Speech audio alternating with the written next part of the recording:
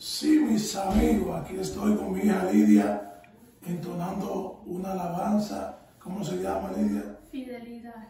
Vamos a ver cómo sale. Dice.